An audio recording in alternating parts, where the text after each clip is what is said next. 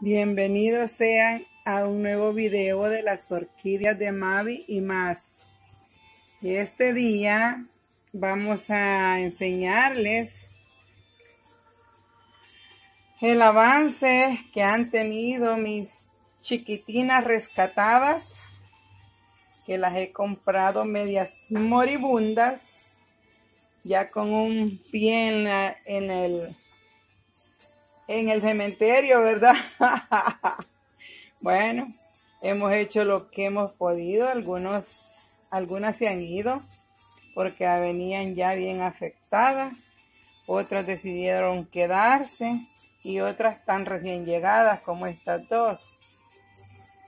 Esta todavía no desaturra sus hojas, todavía están aturraditas. Esta esta que quiere quedarse y no quiere, pero esta ya es mediana. Esta también es una mediana. Todas aquellas son medianas. Miren, esa todavía no la he trasplantado porque está no ha botado sus flores todavía. Esa sí la compré en buena vida, ¿verdad? Esta me la regaló una amiga también en buenas condiciones. Esta también me la regalaron en muy buenas condiciones. Acá tengo dos mini. A esas otras les llamo mediana. Todas esas son medianas. Pero estas son mini. Pero las puse en un container demasiado grande. Ya les he hablado acerca de eso, que cometí ese gran error y va a costar para verle sus florecitas, ¿verdad?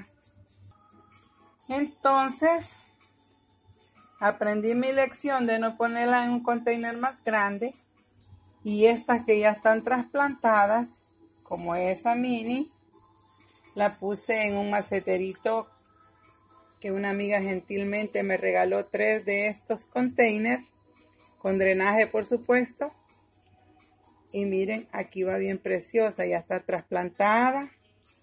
Esas otras dos lo mismo. Ahorita voy a hidratarlas y a limpiar sus hojitas porque miren, como les abro la ventana y está un arbolito enfrente, les cae mucho polvillo. Y aunque no abra la ventana, siempre les cae polvillo del, de la calefacción o del aire acondicionado. Eso levanta polvillo, ¿verdad? O cuando uno barre o pasa el vacuum, la aspiradora, también levanta polvo. Así que esas ya están, estas no las he trasplantado, déjenme ver, esta sí. Esta ya está trasplantada, pero la dejé en el mismo pequeño porque más bien no traía raíces, más que solo esa aérea que está ahí. Pero no ha pasado mucho.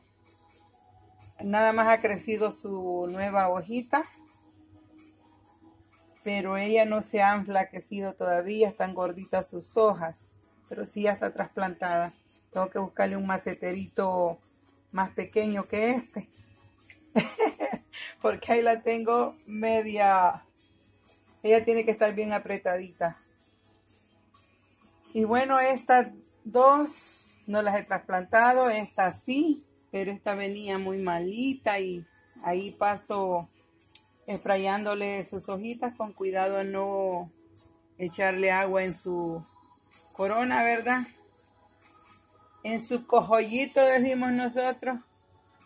La verdad que no sé a qué le llaman corona. Hasta ahorita no he averiguado bien si es el cojollito o si es todo la plantita, el troncón que yo digo, el tronco.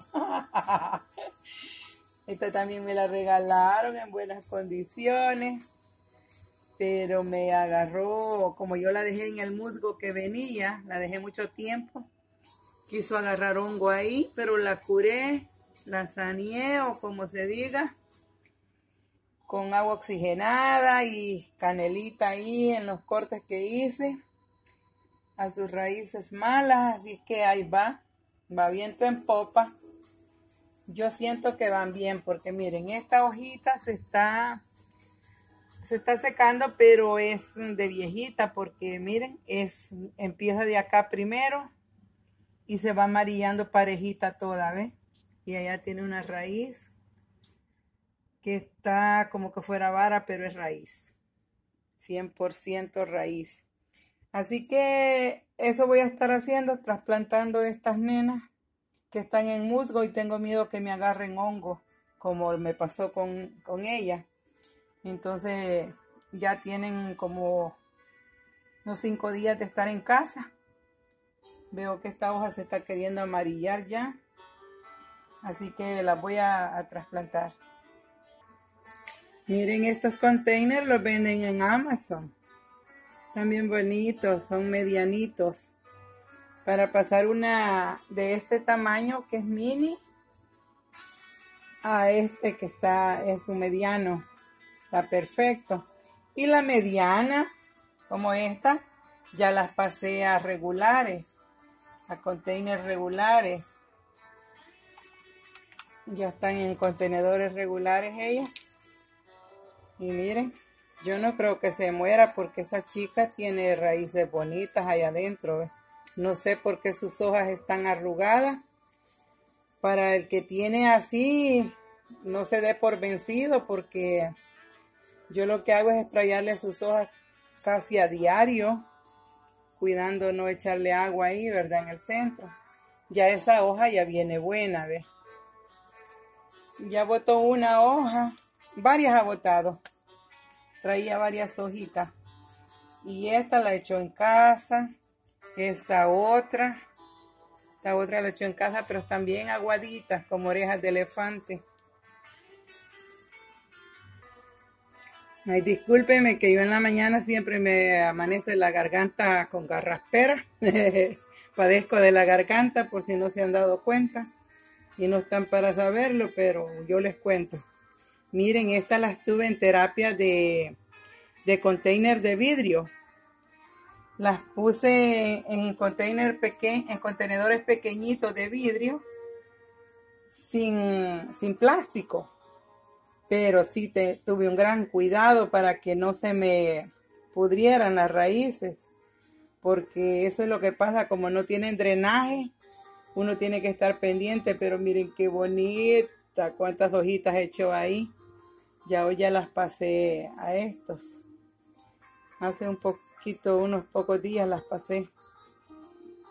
No, ya son meses. Meses que las saqué del, de vidrio. No las tuve demasiado tiempo porque me da miedo. Como siempre hay alguien nuevo en mi canal, ¿verdad? Y es muy bienvenido.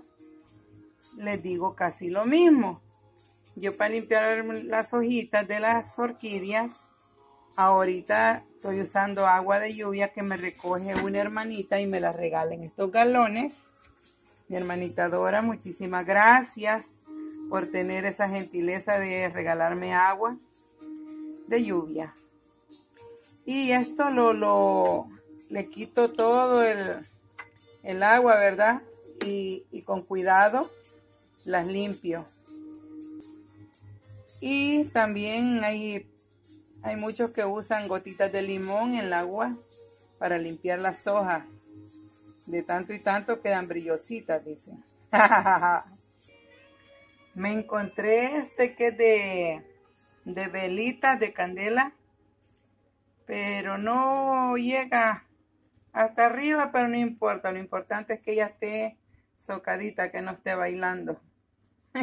bien, bien cabal es que es pachito. Este contenedor es pachito, miren. Tiene hueco abajo porque es para candelita, ¿verdad? Pero ahí está divina. Miren, ese otro también no queda bien en ese porrito de vidrio. Pero mejor más aireado están. Estos también, también aireados, ¿ves? les da bastante la luz. Así es como yo hidrato mis orquídeas. Con este aparato, con este container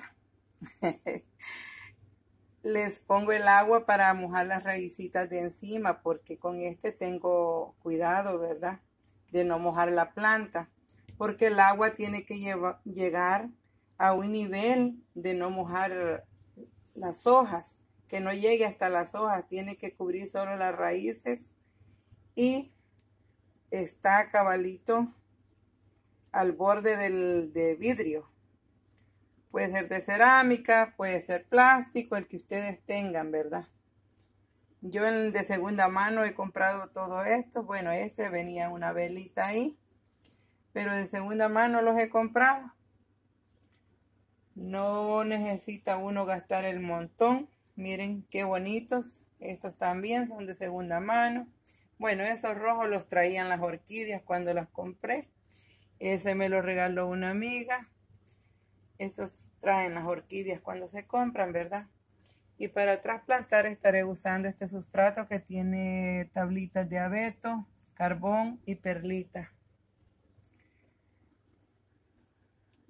Para estas dos chiquitas.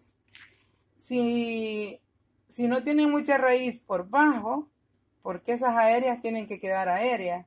Si no tienen muchas raíces buenas por bajo y uno las corta, las secas, las podridas, este, se pueden plantar ahí mismo. No necesita un contenedor más grande.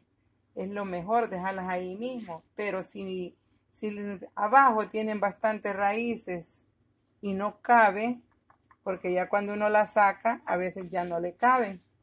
Pero si tiene poquitas como esta, esta no tiene muchas, ahí mismo solo le voy a, a limpiar y estas no necesito cortarles raíces porque no traen raíces malas. Todavía estaban en buenas condiciones. Nada más le estaré sacando el musgo. Le lavaré ahí con agüita. Y con un cepillito yo le cepillo ahí con jabón. Y luego les pongo agua oxigenada. Que es esta. Hasta en el dólar hay de esta. No se necesita gastar mucho.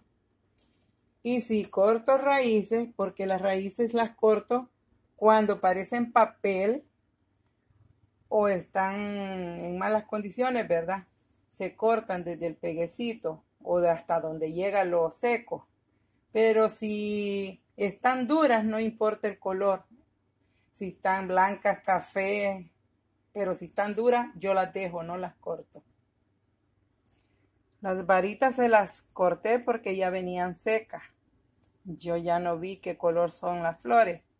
Por eso las corté, se las corté a todas, porque ya no, ya no tenían raíz, este, flores. Pero mientras tengan la yemita al final, ya les he explicado, mientras esta yemita esté buena, yo no corto la vara. Pero si veo que ahí ya no hay vida, le corto entre la última flor, entre la primer flor que dio y la yemita siguiente. Entre medio de esos dos, de la división acá y de la primer flor, ahí corto en medio. Porque si ella tiene de sacar una sudvara en esta yemita, va a secar un pedacito de, después que yo he cortado, va a secar un pedacito y se va a detener. Y si no, pues sale en la otra yemita. Pero si ella no quiere dar más sudvara, va a secar hasta abajo y hay que cortarla toda cuando ya está seca. Vaya, miren, por esta razón es que yo no las dejo en el, con el musgo, porque a veces ya vienen enfermas. Miren eso como viene de negro de ahí. Y a mí tampoco se me da en musgo, porque acá no tienen suficiente luz solar filtrada y se me pudren si no ando lista, ¿verdad? Y si ya vienen enfermas, pues lógico que se me van pero uno hace la lucha. Estaré cortando eso negrito y la lavaré bien y luego pondré canela en polvo donde haga el corte. Ahorita le he puesto agua oxigenada por si tiene hongo, hace espuma. No sé si ustedes le pueden ver, pero tiene espuma ahí. Todas sus raíces están blanquitas de porque tienen el agua oxigenada. Así la tengo un rato. Luego la, la baño con agua de lluvia, pero solo las raíces, ¿verdad? Y hay que sacudirla por si le cayó algún poquito de agua entre las hojitas. Se sacude.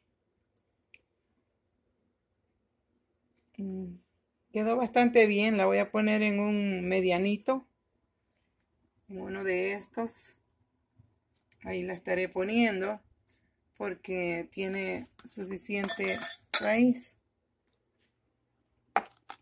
Miren, de este tamaño a este está bien.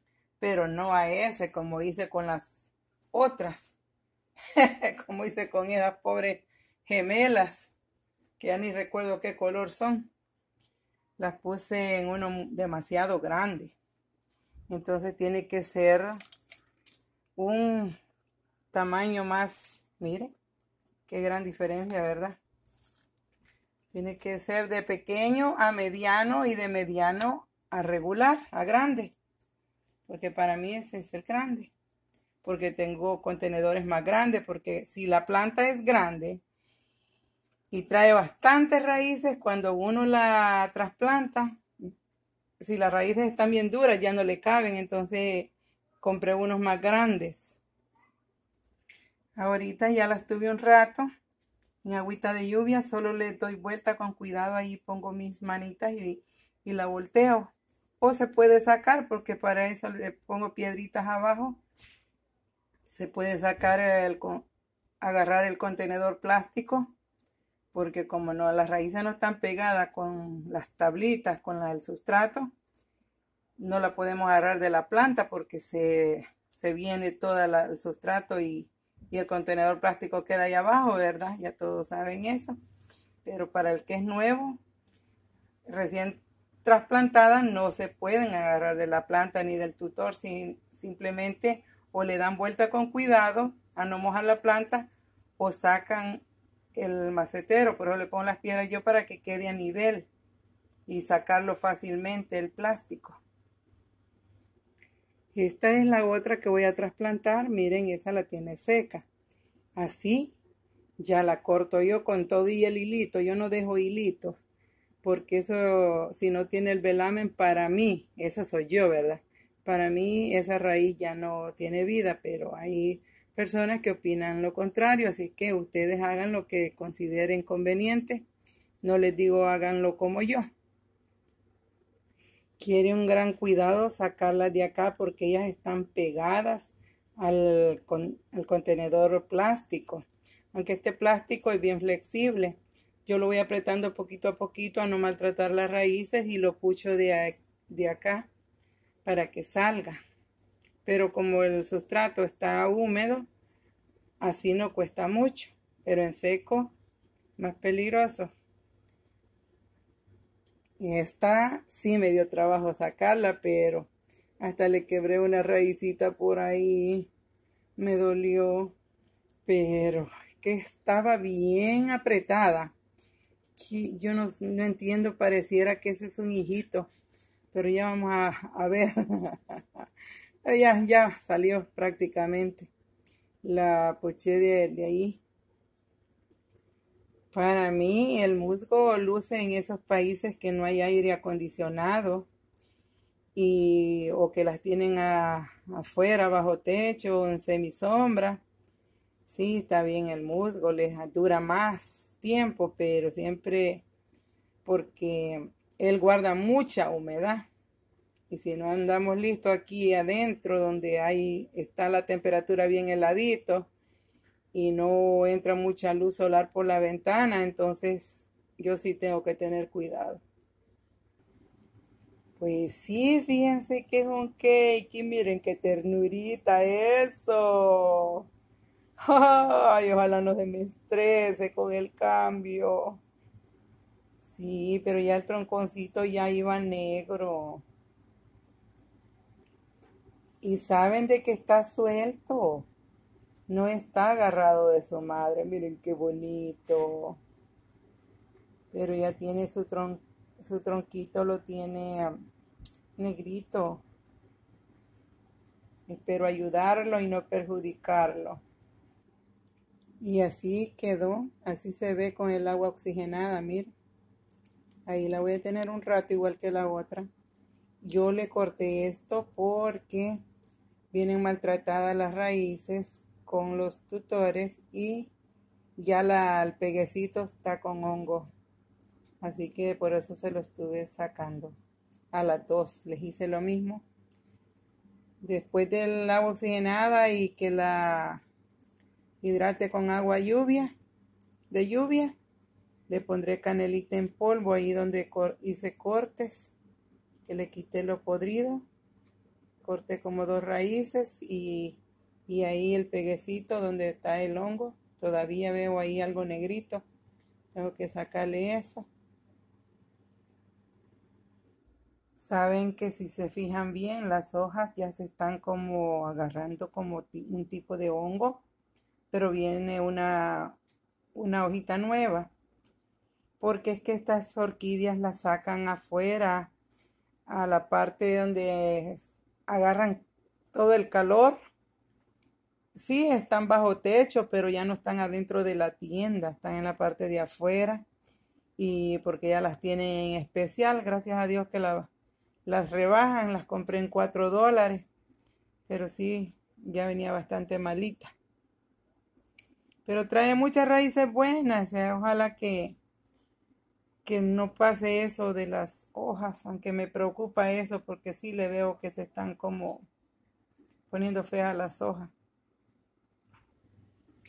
Yo les pongo de esa redecilla o no sé cómo le llaman a eso, donde vienen las cabezas de ajo. La lavo bien y se la pongo ahí para que no se salgan rápido las raíces, aunque ellas siempre se salen porque esto tiene un agujero grande. Pero la raíz